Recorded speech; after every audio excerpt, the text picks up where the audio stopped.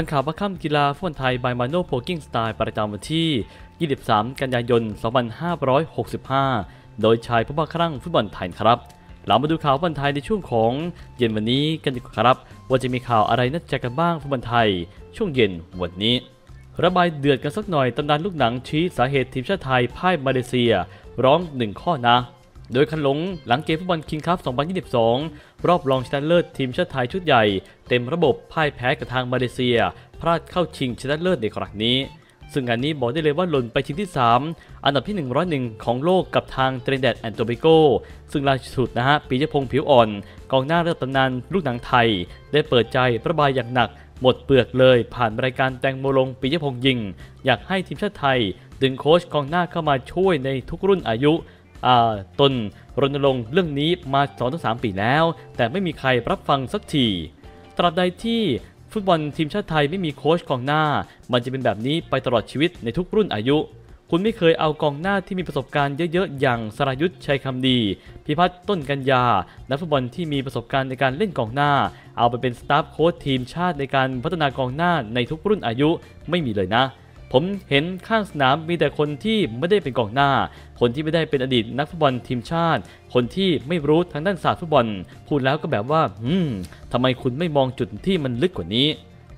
การมีมีสตาฟอะไรก็แล้วแต่คุณควรจะเพิ่มโค้ชกองหน้าอีกหนึ่งคนนะ ซึ่งผมรณรงค์มาสองสามปีแล้ว คุณก็ยังไม่ฟังผม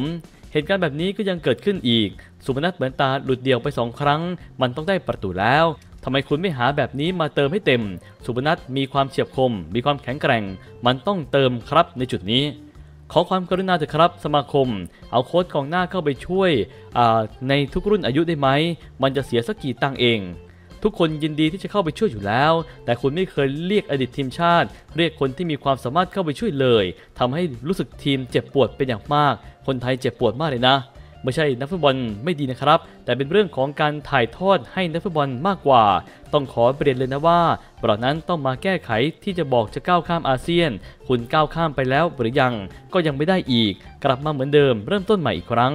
ร่วมมือร่วมใจกันสิครับ เชื่อคนในวงการฟุตบอลบ้าง ปรับปรุงแก้ไขก็ยังทัน เรานั้นเป็นกำลังใจให้เสมอ เราผิดพลาดเราแก้ไขได้ แต่อย่าดื้อรั้นดื้อดึงได้ไหม ไม่อย่างนั้นฟุตบอลไทยจะเป็นแบบนี้ไปเรื่อยๆนะ สำหรับโปรแกรมนัดต่อไปมาโนโปกิ้งมีคิวนำทัพช้างศึกทีมชาติไทย พบกับทางทีมอันดับที่ 101 ของโลก ทีมชาติตริดัดแอนโตบิโก วันที่ 15 กันยายน เวลา7นาฬิกา 30นาทีถ่ายทอดสดทางช่องไทยรัฐทีวี ช่อง 32 และก็ AIS เพลนครั้งนี้นะถ้าผมเป็นว่างานนี้ก็น่าเจ็บใจนะฮะไปชพงผิวอ่อนก็บอกว่าทำไมไม่ฟังกันบ้าง เรามาดูประเด็นข่าวต่อมากันดีครับ ความรู้สึกแฟนบอลเวียดนามหลังเห็นการเล่นของทีมชาติไทย ดวลมาเลเซียในศึกคิงส์คัพนัดแรก เดี๋ยวกันนี้เรามาดูความคิดเห็นของแฟนบอลกันดีกว่าว่าจะมีความคิดเห็นว่าอย่างไรกันบ้าง เริ่มจากนะฮะคอมเมนต์ที่ 1 ไม่ว่ายังไงก็ตามแต่ไทยยังคงเป็นรองแชมป์เอเชียตะวันออกเฉียงใต้นะคอมเมนต์ต่อมา ไทยแพ้เพราะไทยเห็นนายปาร์คนั่งอยู่บนอัศจรรย์จึงซ่อนกลยุทธ์เอาไว้คอมเมนต์ต่อมา ทุกรางวัลในประเทศไทยกำลังซ่อนความสามารถนะคอมเมนต์ต่อมา แบบนี้ปีหน้าไทยคงเชิญลาว กัมพูชา คงไม่กล้าจะเชิญเวียดนาม มาเลเซีย อินโดไปแล้ว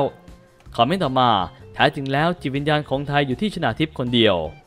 คอมเมนต์ต่อมา Kings Cup ครั้งล่าสุดนั้นที่ไทยถูกเวียดนามตกรอบ ปีนี้ไทยขมอีกครั้งกับมาเลเซีย โค้ชมาโนโพลกิ้งจะว่างงานอีกหรือไม่คอมเมนต์ต่อมา คิดจะหนีเวียดนาม ใครจะคิดว่าจะไปเจอกับทางมาเลเซียซะอย่างนั้น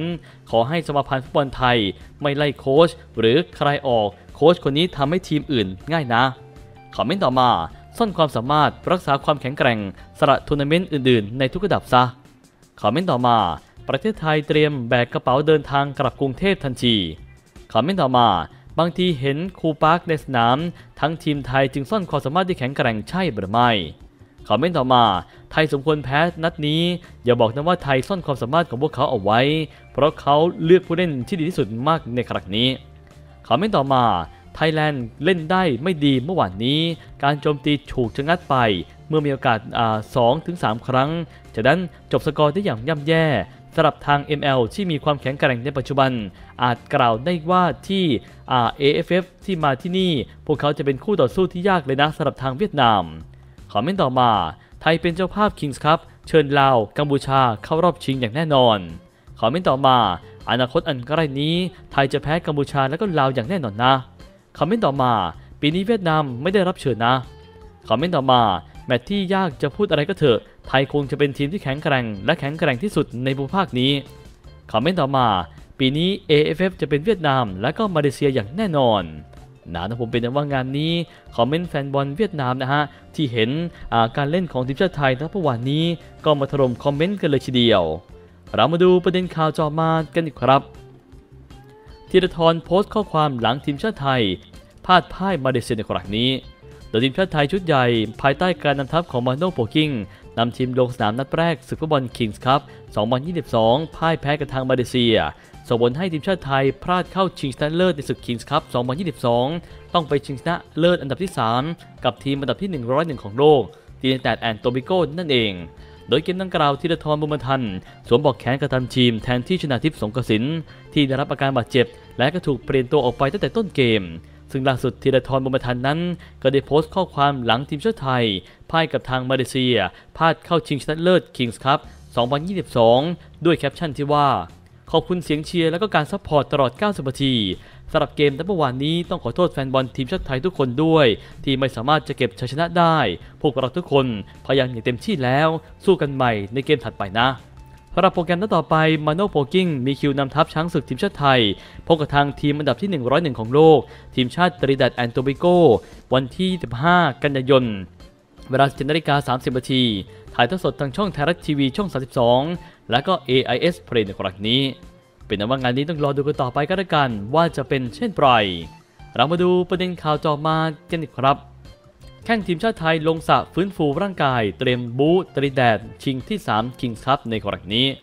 โดยทัพนักเตะทีมชาติไทยรวมพลพักฟื้นร่างกาย ภายในสระน้ำของอัลไพน์กอล์ฟรีสอร์ทก่อนเตรียมทำศึกนัดชิงที่ 3 กับตรินิแดดแอนด์โตเบโกในวันที่ 15 กันยายนที่ถึงนี้ ดูความเคลื่อนไหวของทีมชาติไทย ชุดทำศึกฟุตบอลชิงถ้วยพระราชทานคิงส์คัพครั้งที่ 48 ลงสระว่ายน้ำนะฮะ เพื่อฟื้นฟูร่างกายเตรียมความพร้อมสำหรับนัดชิงชนะเลิศอันดับที่ 3 กับทางตรินิแดดแอนด์โตเบโกที่สระว่ายน้ำอันพายกอล์ฟรีสอร์ทจังหวัดเชียงใหม่ โดยการฝึกซ้อมในครั้งนี้ ได้แบ่งนักเตะเป็น 2 กลุ่ม โดยกลุ่มตัวจริงแยกซ้อมฟื้นฟูร่างกาย ส่วนกลุ่มตัวสำรองลงฝึกซ้อมเพื่อรักษาแมตช์ฟิต จากผลการแข่งขันก่อนหน้านี้ ทีมชาติไทยพ่ายจุดโทษมาเลเซียไปถึง 3 ต่อ 5 หลังเสมอในเวลามา 1 ต่อ 1 และต้องไปเจอกับทางตริดัดแอนโตบิโกที่แพ้ทาจิกิสถานไป 1 ต่อ 2สำหรับโปรแกรมนัดต่อไปทีมชาติไทย จะพบกับทางตรินิแดดแอนด์โตเบโกนัดชิงชนะเลิศอันดับที่ 3 ของศึกฟุตบอลคิงส์คัพครั้งที่ 48 ที่สนามกีฬาสมโภชเชียงใหม่ 700 ปี วันอาทิตย์ที่ 25 กันยายน เวลา 17นาฬิกา30นาทีถ่ายทอดสดทางช่องไทยรัฐทีวี HD และก็ AIS Play ในครั้งนี้ เป็นว่างานนี้ต้องรอดูกันต่อไปกันละกันว่าจะเป็นเช่นไร ฝากไปให้กำลังใจเขากันด้วยครับ เรามาดูประเด็นข่าวต่อมากันอีกครับ เชื่อมั่นในนักเตะนะ คิมปันกอนชื่นชมเสือเหลืองหลังดวลโทษไทยลิ่วชิงคิงคัพโดยคิมปันกอนกุนซือทีมชาติมาเลเซีย ชื่นชมลูกทีมหลังโดนจุดโทษดับช้างศึกไป 5 ต่อ 3 ทะลุเข้าชิงคิงคัพในครั้งนี้ ซึ่งการแข่งขันฟุตบอลชิงถ้วยพระราชทานคิงคัพเมื่อวันที่ 22 กันยายนที่ผ่านมา ทีมชาติไทยพ่ายแพ้กับทางทีมชาติมาเลเซีย สกอร์รวมกันอยู่ที่ 6 ต่อ 4 เสมอในเกมปกติ 1 ต่อ 1 ทำให้ทัพเสือเหลืองผ่านเข้าไปชิงชนะเลิศได้สำเร็จ ส่วนทัพช้างศึกทีมชาติไทยชิงอันดับที่ 3 ในครั้งนี้ โดยหลังจบเกมการแข่งขันคิมพันกรกุนซือทีมชาติมาเลเซียก็ได้เปิดเผยนะว่า ขอบคุณทุกๆ คน ทุกคนเต็มร้อย พวกเขาทำให้แฟนบอลชาวมาเลเซีย